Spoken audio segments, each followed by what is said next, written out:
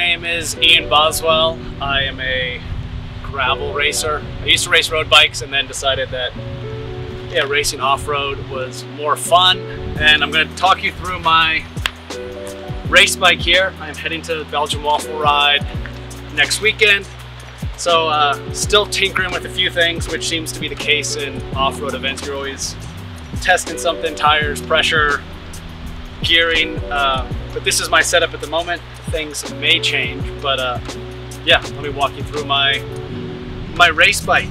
Uh, so this is actually a S-Works Roubaix, which is actually a road bike, but thanks to modern road bikes, they've allowed more tire clearance, so you're able to run bigger tire. Um, start at the front end.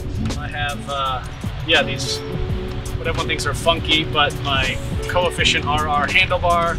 I've got my Wahoo Bolt head unit. Uh, the whole bike is set up with SRAM Red E-TAP. Um, since this is a Roubaix, I do have my Future Shock, so it's no mountain bike, but I do have a little bit of suspension up front. At the moment, I am running the 33C Tracer tire from Specialized. I have my CushCores in there. Um, saddle, I have the, the Specialized S-Works Power. I have this across all my bikes.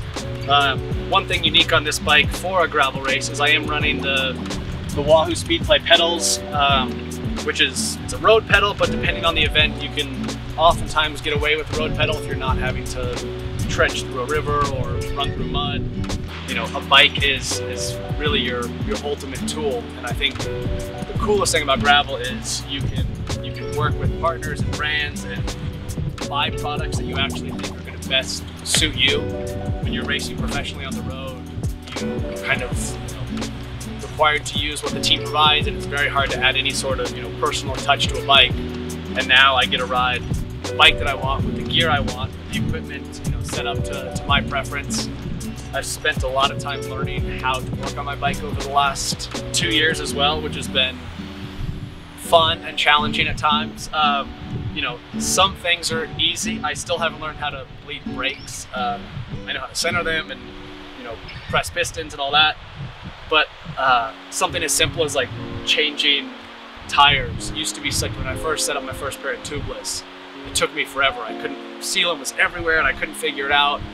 So I bought an air compressor and you know, the other day I was trying to fit different tires on this bike and I was going back and forth and I think I put five or six different pairs of tires on within 30 minutes. So you do become more efficient and it does become easier. It's just it's just patience and practice and once you learn how to do it, it's actually incredibly fun and rewarding. And I think everyone who's ever used an air compressor to seat tires, hearing that pop is such a satis satisfying sound. So yeah, it, has been awesome to, to learn how to work on my own bike. And you know, it's one of these things in gravel racing as well that you need to know how to do it because you might be 100 miles from the finish line and something happens and you need to learn how to, you know, center a brake or you know, adjust something on your bike. So it, has been a it's been a learning curve, but it's been rewarding at the same time to finally having raced bikes for so long actually understand and, and appreciate the tool that I use for my trade.